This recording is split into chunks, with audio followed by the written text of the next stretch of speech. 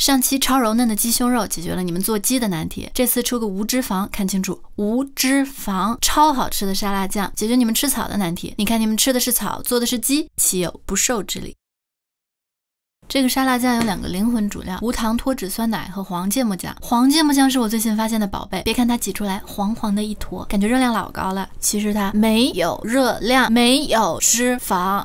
哼，我知道你心里已经有一个大胆的想法了。兄台，有话好好说，你直接吃了，我还教什么呀？快停下，这样不好吃。正确的打开方式应该是把芥末酱和脱脂酸奶拌匀，放盐和黑胡椒调味，搓一点雷蒙皮，挤一点雷蒙汁。接下来的内容你可以自由发挥，主要是放你喜欢的香料或者配料，你可以尽情的放飞自我，做出只属于自己的味道。然后就拿出单身二十年练就的麒麟臂搅匀吧。做完的沙拉酱基本和酸奶的保质期一样，但是如果你放了新鲜的蔬菜在里面，最好两天内用。我说过要密封冷藏吗？没说过，你们也知道吧。接下来找一点五花八门的草，放上陈年鸡胸、鸡心、红宝石、黄钻、刀片，淋上放飞自我的酱汁，搅和搅和吃吧。我的天，真不敢相信是没有脂肪的沙拉酱呢。这样的沙拉还可以放到梅森渣里，吃之前加上沙拉酱就是简单的一顿饭了呢。你还可以叉着腰牛逼哄哄的对旁边的人说：“要酱吗？我自己做的。”哼。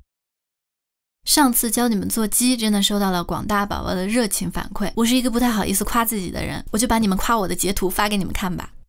谢谢你们交给我的每一份作业。后面呢，我还会出两期服务减肥狗的视频，敬请期待。